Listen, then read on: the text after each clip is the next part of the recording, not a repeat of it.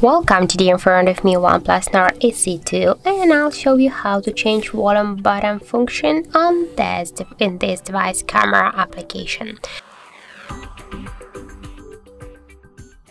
So first we should go into the camera app and here click on the right upper corner. Now just tap into the settings here and scroll down to the volume button action. Now just our volume button is like here on the left side. Our device is like the shutter. So now just by click on the up or down volume button we can take a picture. As can you see. And now we can change it. So we, uh, we can use our volume button to zoom photo as can you see?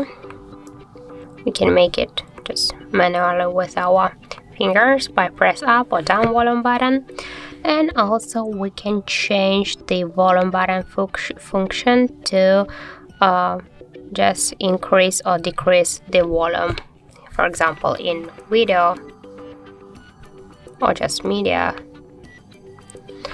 So that's it that's how to change volume button function in camera app and our OnePlus Nord CE 2 Thank you for watching and if you find this video helpful, don't forget to leave a like, comment and to subscribe our channel.